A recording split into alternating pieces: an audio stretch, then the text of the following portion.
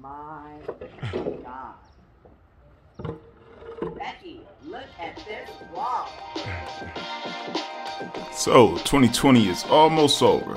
I know it's crazy. So, I want to take this time to thank all of my clients for going with us this year, and even the ones that didn't.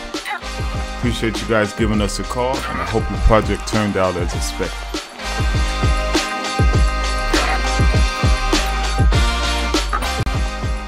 This is probably one of the most hyped clients I ever had.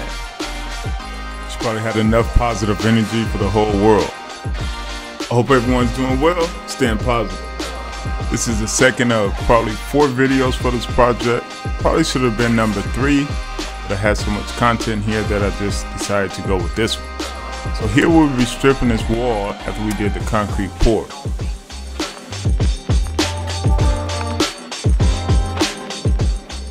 Really nothing to it.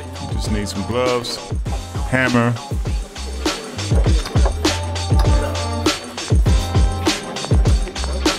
magnet, shovel.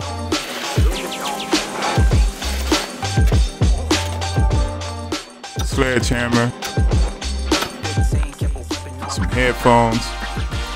Pretty much remove the wood.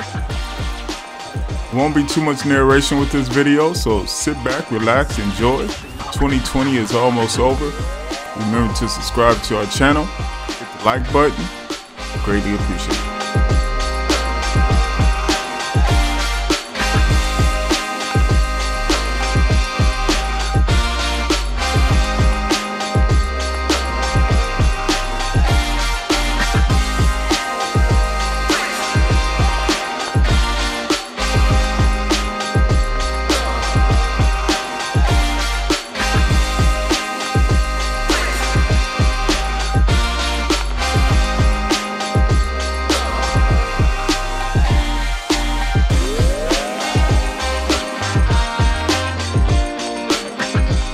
Did get a chance to bring out the drone to give you guys a different look of the work here.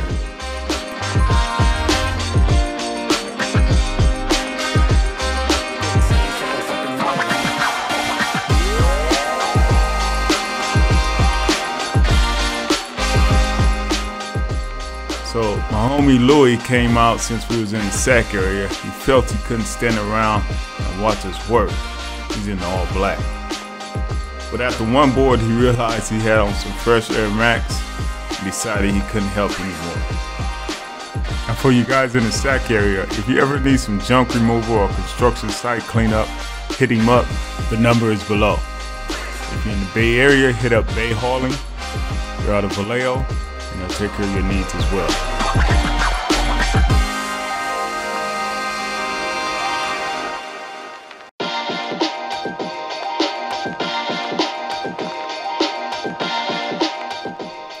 So I hope you guys enjoyed this video and you get a true understanding of what it takes to strip a concrete retaining wall.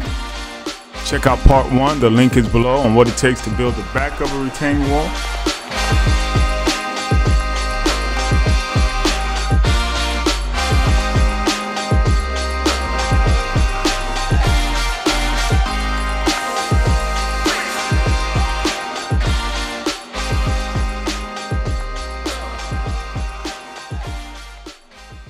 as always, I appreciate you guys' time. Remember, stay positive, hang around people that's positive, and it's cool to ask for help. The Sacramento Bay Area, hit us up, link below. 2020 is almost over. Let's get ready for 2021. Make it a good one. Oh, I love the line.